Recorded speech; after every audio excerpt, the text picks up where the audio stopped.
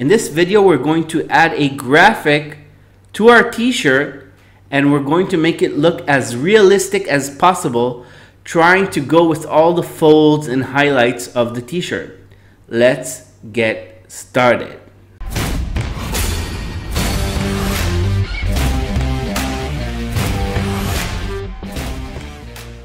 To get started, I'm going to open up my model image inside of Photoshop. So let's open this in Photoshop.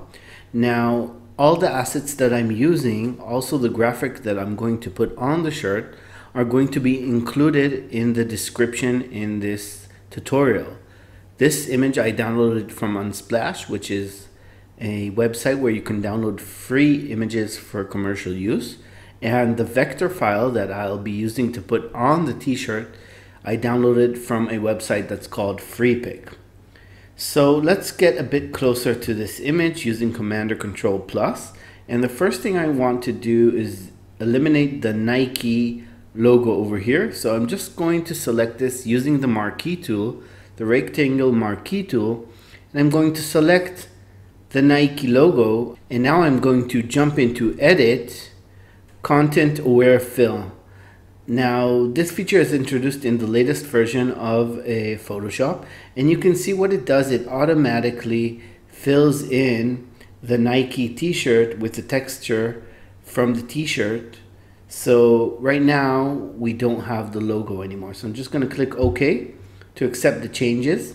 Just make sure to notice that what it does, it creates a duplicate and adds the fill, the content aware fill in a duplicate. So, so let's just merge these two together by selecting both of them and right clicking merge layers. Now we can deselect our selection by command or control D. Perfect. So the next thing is preparing our vector graphic to put on our t-shirt. To do that, I'm going to open my vector graphic inside of Illustrator. So double click on the folder, right click on the EPS file and open with Adobe Illustrator. Here's our file. Now you can see there are two versions of this graphic, which is pretty awesome. The first one is for white backgrounds and the second one is for dark backgrounds. So since our uh, t-shirt is a dark background, I'm going to use the right one. So let's delete the left one and let's delete the background from the black one. And you can see over here it looks pretty good.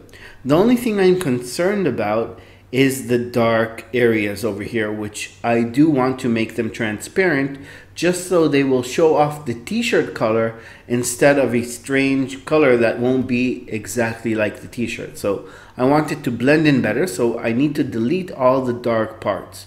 To do that I'm going to select my whole vector file. Inside of the Pathfinder window, I'm going to select divide. It has an option for divide. If you don't see the Pathfinder, you can open it always from the Windows uh, menu. So great, we've divided our shape. I'm going to right click and ungroup and I'm going to select a dark element from my vector file. So you need just to select one of these. Jump into select and choose same fill color. That will select all the places that have the exact hex color that you selected originally. So right now on the keyboard, I'm just gonna hit delete and that will delete all the dark places. And now we'll have a nice transparency between the vector file and the um, t-shirt mockup. So I'm just going to select everything over here, Command or Control C to copy, jump back into Photoshop, and I'm going to paste this inside. You can just paste that as a smart object and click OK. And now I can make it a little bit larger. If your image distorts, what you can do to stop it from distorting is hit the shift key and just make that larger until it looks realistic. You can see that this t-shirt has a bit of an angle to it, a bit of a slant. So wait until you see the double arrow in the corner while you're transforming your vector image and just turn that a little bit to the side until it has a nice angle that represents the same angle as the t-shirt. You don't want too much, try to be exact and hit enter to accept your changes. Great, so right now we have a nice layout over here and what we want to do is to blend in our vector file with the t-shirt. I'm going to hide the vector file and right now what we're going to do is create a displacement image map. To do that, we're going to select the t-shirt. So I'm going to select it with using the quick selection tool. If it's not already selection, you can long click over here and move to the quick selection tool. You can play around with the square brackets to make your brush bigger or smaller. So let's just go for a big size over here. And I'm just gonna hit, start hitting, oh, we need to be selected on the background. So I'm just gonna select the background. And now you can go over your t-shirt. And now you can go over the t-shirt and just start selecting all the parts of it. Now you can see it also selected the pants over here because uh, they're about the same color. You can deselect that by making your brush smaller with the brackets, the square brackets, and hitting Alt, that changes the plus to a minus, and now we're starting to deselect parts. Great, you don't have to be exact. What's important is that the middle part is selected. And the next thing we're going to do is uh, create a duplicate from the background. So Let's right click, duplicate layer, and hit OK. Over here, while we have the t-shirt selected, I'm going to create it into a mask. So just hit the quick add layer mask button in the layers pane. And let's hide the background. So we can see that only the t-shirt is selected right now. I'm going to push up the contrast over here inside of the t-shirt. So to do that, I'm going to add an adjustments layer. Over here also a quick option to do that is in the layers pane. And I'm going to add a levels adjustment layer. I want to clip it to my t-shirt so I'm going to right click create clipping mask just so you can see the small arrow over here so it will affect only this exact layer. And in the levels pane, I'm just gonna push up this right gauge so I have a better contrast in my image. So if we want to see a before and after, can see this is how it was before and then I added the uh, levels and played with it and now you can see there's a better contrast between the highlights and the shadows.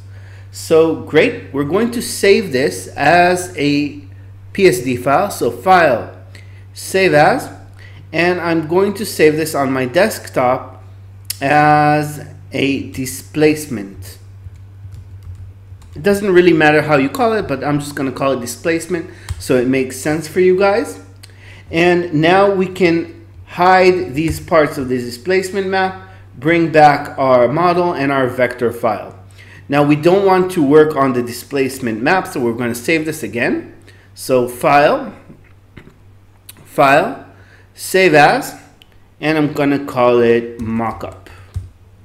Great, so we have everything saved. We have also our mockup with our model and vector file and also the displacement map. And now we're going to use the displacement map to create sort of curves in our vector file so it looks just more realistic upon our model. So to do that, you need the, to select the vector layer in your layers pane, jump into filter, distort, and over here we're going to select displace.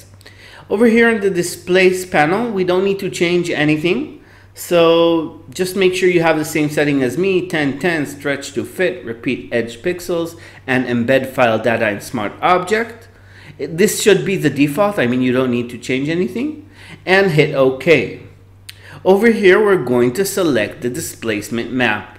You see over here it's the t-shirt that uh, we took off all the details and we pushed up the contrast using the levels. So I'm gonna hit open. And what this does, it just makes small little curves Over here you can really see it good. Wherever there's a highlight, it pushes up the uh, vector and wherever there's a shadow, it pushes it down exactly like it shows on the t-shirt. So the next step is going to be to try to make this even better. To make it even better, we're just going to right click on our vector and hit blending options. In the blending options, you don't want to turn any of these on. You want to be in the general section. And down here, we have an option for blend if gray, which is exactly what we want. We want to blend it if it's gray. And we don't want to affect this layer, but we do want to affect the underlying layer. Now over here, there's a gauge that if I start moving it, you can see it's sort of distorting everything. So I'm just gonna push that back and what we want to do, we want to split this gauge into two using the Alt key on our keyboard. And now you can see how that splits that into two. And now it will start curving our graphic even more. I mean, it's starting to hide the shadows and showing off our highlights even more. And you can really, really see how good this looks over here. You can see the details and over here, how realistically the vector file is curving on our t-shirt folds. Great, let's zoom out a little bit, Command or Control minus. And over here, I'm just gonna push up down the opacity from 100% to 80% just to make that look even more realistic. Awesome. So I think that's about it. I hope you found this tutorial helpful. If you did, please subscribe to my YouTube channel and I'm gonna see you in the next video.